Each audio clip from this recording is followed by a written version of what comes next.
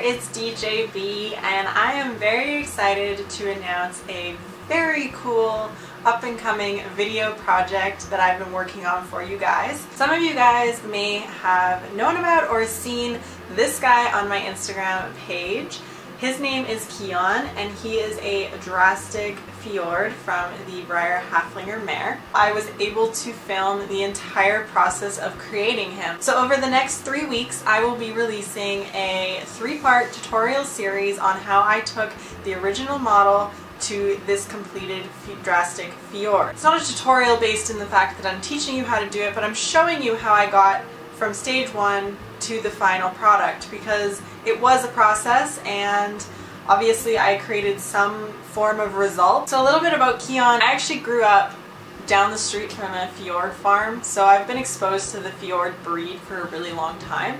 And I've always was curious because typically the standard fjord has a roached mane, which is where they, they cut it and it kind of stands on its on its own. They look like Trojan horses. They're always predominantly dun like this color with the gradient hair and so because they're dun, they have a dorsal stripe that runs along their back, and the dorsal stripe bleeds into the mane. So the center of the mane is actually almost always black. There's white on the outsides where the dun comes in contact with the mane. Now, when I was scrolling through Instagram one day, there was a photograph of a fjord with an overgrown mane. And I've always wondered what this would look like if you were just to let the mane grow.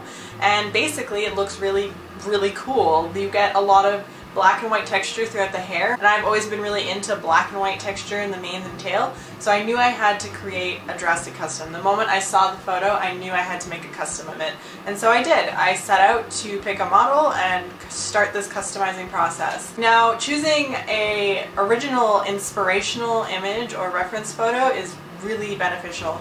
I don't think this guy would have turned out as good if I had just said I want to do an overgrown long mane fjord without any context. I think having an original photograph really helps and it really did help this body of work because it enhanced it a lot. So over the course of the next three weeks I'll be releasing three parts. The first part will be about deconstructing the models, taking the original plastic Breyer, dremeling, sanding, and heat repositioning it so that I can create the idea that I'm looking for in the second part, I will be reconstructing the model, so gluing it all back together using wire reinforcements, baking soda, and super glue, as well as sculpting over original plastic to create the new one-of-a-kind piece.